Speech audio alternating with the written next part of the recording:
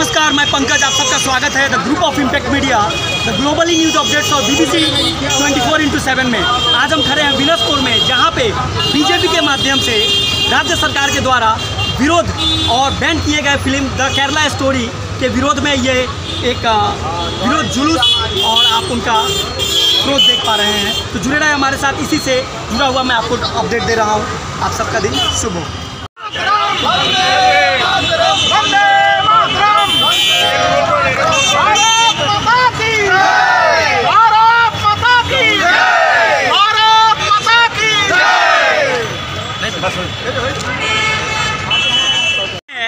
कभी भी सत्तारूढ़ पार्टी कोई काम करती है तो विपक्ष उसका विरोध करता है। लेकिन शशि थरूर यहाँ पर ट्वीट करके वो ये कहते हैं कि the Kerala story is your Kerala story not our Kerala story तो इस पे आपका क्या कहना है? देखिए, ये जो केरला स्टोरी है, ये योर और आवर नहीं होता है। ये पूरा देश का जो घटना है, सच है, वो सच इसमें दिखाया जाए। तो ये स्टोरी जो है, ये सच स्टोरी है और ये सबका साथ, किसी के साथ भी हो सकता है और ये नहीं होना चाहिए। और ये जो इनके डायरेक्टर हो, ये इनके प्रोड्यूसर हो, जो सच सामने आने का आने का जो काम क्या है, बड़ा काम होता है।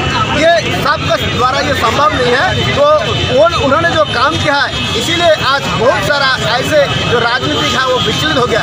इस तरह बंगाल के राजनीतिक जो प्रमुख है, यहाँ के मुख्यमंत्री, वो भी आज डर गया है कि ये केरला स्टोरी अगर बंगाल में चलेगा तो बंगाल का भी बहुत जनता सोचेगा कि ये बंगाल में भी ना जाने कितना सारा ऐसा स्टोरी है, जो अभी भी लोगों के सामने आना बाकी है। लेकिन बहुत जल्द यहाँ बंगाल स्टोरी और बंगाल फाइल्स भी आने वाला है। और बंगाल में जो 12 साल पिछले बारह साल में इस सरकार के समय में जो इस तरह का घटना हुआ घटा वो भी दुनिया के सामने बहुत जल्द वो साथ भी आने वाला है। विपक्ष का आप लोगों पे दोषारोपण ये है कि सत्तारूढ़ पार्टी बीजेपी के पावर में आने के बाद the Kerala story the Kashmir files और ताशकंद टाइप के फ़िल्म बन रहे हैं। इसमें कहीं ना कहीं आरएसएस और बीजेपी का कहीं ना कहीं समर्थन है। इसमें आप क्या कहेंगे? देखिए ये जो फ़िल्म है ये फ़िल्म तो बीजेपी नहीं बनवा रहा है ये आरएसएस नहीं बनवा रहा है। ये भारत के कोई अच्छे अच्छे व्यक्ति जो प्रोड्यूसर है, जो डायरेक्टर है, वो लोग बना रहे और वो लोग जिस घटना का ऊपर आधार करके ये सब फ़िल्म बन रहे हैं, वो बेबुनियाद है नहीं। वो सच है ये सभी को पता है जो कश्मीर फाइल्स में दिखाया गया, वो सच का सिवा और कुछ नहीं है। जो केरल स्टेट में दिखाया जा रहा है, वो सच के सिवा और कुछ नहीं है। तो सच किसी ने भी जो अगर अपना जान के ऊपर बाजी रख के ये सिनेमा बनाते हैं, और लोगों के सामने जो सच दिखा रहे हैं, उनके लिए तो प्रशंसा होना चाहिए? इसमें बीजेपी और आर का कोई रोल नहीं है। ये जनता, देश के जनता इसका प्रशंसक है। देश के जनता ये सिनेमा देख के वो बोल रहा है कि हाँ ये सिनेमा बहुत और भी बहुत आगे होना चाहिए था। बहुत लेट करके हुआ है, लेकिन जो भी हुआ लेट में हुआ अच्छा हुआ। इस तरह का घटना जो घट रहा है, उस तरह का और भी सिनेमा होना चाहिए। इस तरह से ये बंगाल फाइल्स और बंगाल स्टोरी भी बहुत जल्दी आने वाला है। इसमें तीन कैरेक्टर है। तीन कैरेक्टर में एक कैरेक्टर जो है वो कहती है कि हमारे माता पिता हमें अपने धर्म के बारे में बताते नहीं है जो हिंदू है उसके बारे में आपका क्या कहना है? देखिए ये जो सिनेमा में दिखाया गया तो उसमें हो सकता है कि एक सिनेमा का पार्ट है लेकिन आमतौर पे हमारा जो संस्कृति है संस्कृति में हम सभी ने वो कोई हिंदू हो कोई मुस्लिम हो कोई क्रिश्चियन हो सभी के घर में या फिर धर्म स्थान में धर्म के आधारित कोई ना कोई कार्यक्रम होता है। इसलिए हम सब जाते हैं आते हैं और हो सकता है कोई कोई ऐसा भी आ, कुछ कुछ घटना हो सकता है। कोई जगह में अपना पिता माता उसका संतान को बता नहीं पाता है उनको अवसर नहीं मिलता लेकिन सामूहिक रूप से ज़्यादातर पिता माता हो या समाज के लोग इस तरह का घटना में अपना अपना धर्म के बारे में सभी धन्यवाद।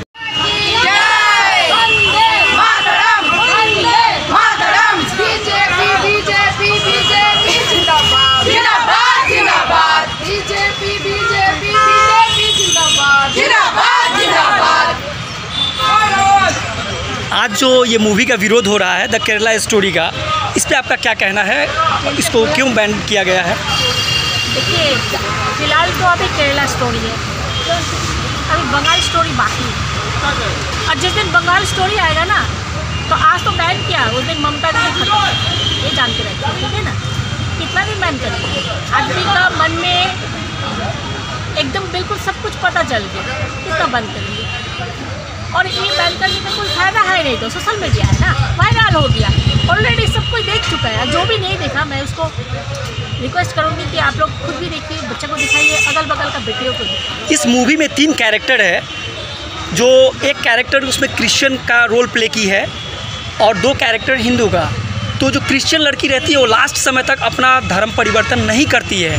और जो हिंदू लड़की रहती है, वो स्पष्ट शब्दों में कहती है, हमारे माता पिता तो हमारे धर्मों के बारे में आज तक बताया ही नहीं। तो इसको आप किस तरह से लेते हैं? हमारे हिंदू सनातनी जो अपने आप को सनातनी कहते हैं, वो लोग अपने माता पिता बच्चों को कुछ नहीं बताते हैं, इस पर क्या कहेंगे? एकदम सही। मैं तो बताऊँगी कि हर पेरेंट्स को अपना जो हमारा धर्म है, इसको समझाना, छोटा से यही संस्कृति सिखाना चाहिए। क्योंकि बच्चा को इतना पता नहीं होता है, क्योंकि आज हम लोग क्या है ना ज़्यादा बाहर वालों को फॉलो करता है कि अपने आप को इतना डेवलप कर लेते हैं कि हमारा धर्म क्या है हमारा संस्कृति क्या है हम लोग भूल जाते हैं, लेकिन परिवार में ये देना चाहिए शिक्षा देना चाहिए, और बच्चा को एकदम अच्छा से, मैंने ये पिक्चर कि मेरा घर में बेटी है, मेरे तो लोग खड़े हो गए। कि सच में, हम लोग इतना दिन से ये उम्मीद करते थे थैंक गॉड जो ये करेला जो स्टोरी निकला, ये बहुत ज़रूरी था। ये ऑल ओवर इंडिया ने, सबको बाहर में भी ये दिखाना चाहिए कि बेटी सुरक्षित नहीं मुझे एक क्वेश्चन पता नहीं चल रहा है, सबके मन में यही है कि दीदी को बैन क्यों किया?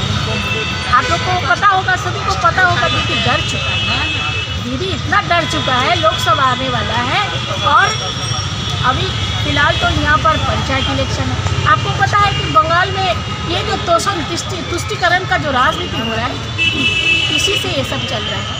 और दीदी को इतना पता होना चाहिए, बंगाल का बेटी भी अगले दिन जवाब देगा आपको। आप ये रोक रहे हैं, बैन कर रहे हैं, कितना दिन बैन कीजिएगा। सबको पता चल गया। आपको मुँह का ऊपर जवाब देगा यही बेटी लोग। हम चाहते हैं सारा बेटी